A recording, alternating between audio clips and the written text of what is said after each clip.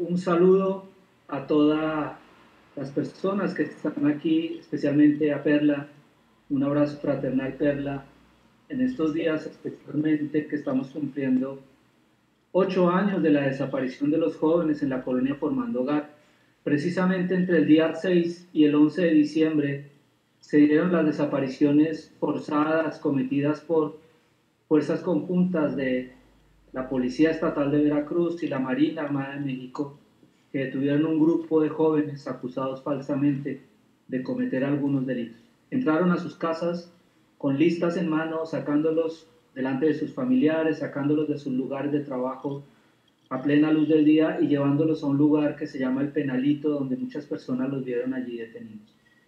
Estos casos de desaparición forzada de personas nos acompañan día a día y nosotros hemos denunciado desde Ideas la desaparición no solo de Víctor Álvarez Damián, sino de los jóvenes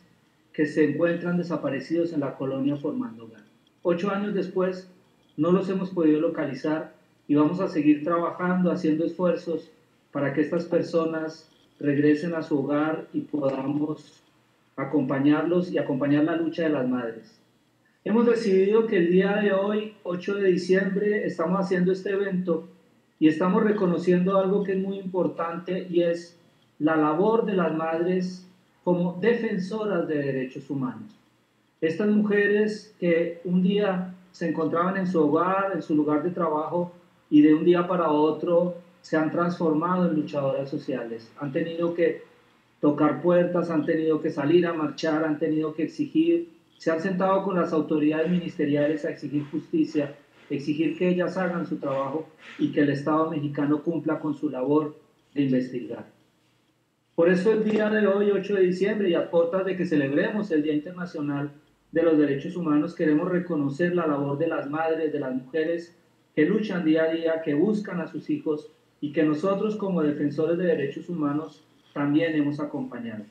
Por eso es tan importante que esté aquí en esta mesa eh, la Embajada de Alemania que ha venido apoyando el trabajo de las organizaciones, que ha venido también dando un reconocimiento a la labor del Movimiento Nacional por nuestros desaparecidos. Y también, evidentemente, al Senado de la República, a la senadora Celeste Sánchez, que nos ha venido apoyando y con quien hemos discutido este tipo de situaciones y hemos analizado la necesidad de establecer también reformas legales y garantizar el cumplimiento desde el Senado de la Ley General de Víctimas y otras leyes como la Ley General de Desaparición.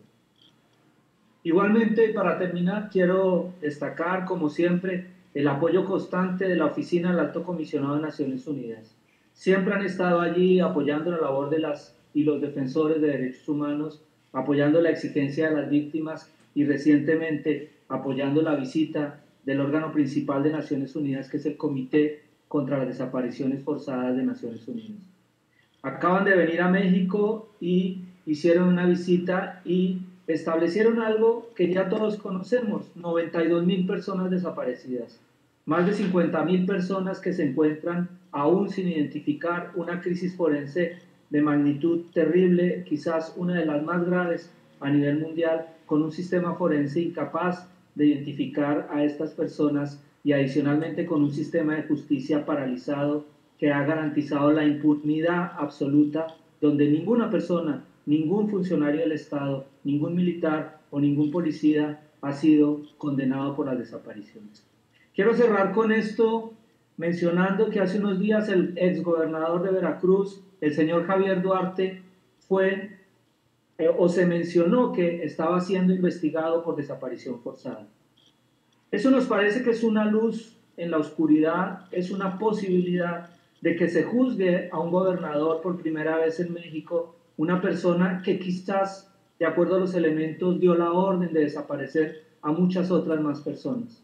Y creo que si esto es posible, podemos avanzar en la exigencia de justicia. El gobernador Duarte, como otros gobernadores, como los casos de Nayarit, como de Veracruz, han eh, demostrado que en México se han cometido crímenes de lesa humanidad. Nosotros hemos insistido que la situación en México es grave, que ha sido grave y que a pesar de que el gobierno federal de Andrés Manuel López Obrador ha reconocido la crisis, ha aceptado la situación y ha permitido que las autoridades internacionales vengan a México, creemos que hay que seguir trabajando. Desde aquí, desde la sociedad civil, seguimos insistiendo en que México debe reconocer que existe un patrón generalizado y sistemático de desapariciones forzadas y que debemos actuar en consecuencia. Quiero enviar un saludo desde, desde este espacio a mis colegas de ideas, a las y los defensores de derechos humanos de las organizaciones de la sociedad civil un reconocimiento a ellas por su trabajo y especialmente a las madres, a las organizaciones humanitarias como Naciones Unidas, el Comité Internacional de la Cruz Roja y muchas otras instituciones que acompañan la causa de las personas desaparecidas y que día a día estamos insistiendo en que vivos se lo llevaron y vivos los queremos. Muchas gracias nuevamente al Senado de la República y cedo la palabra a mi colega Jesús para que pueda dar sus palabras de cierre. Un abrazo fraternal a Perla nuevamente y a todas las madres que buscan a sus seres queridos. Y senadora Celeste Sánchez, muchas gracias a su equipo de trabajo por habernos auspiciado en esta actividad.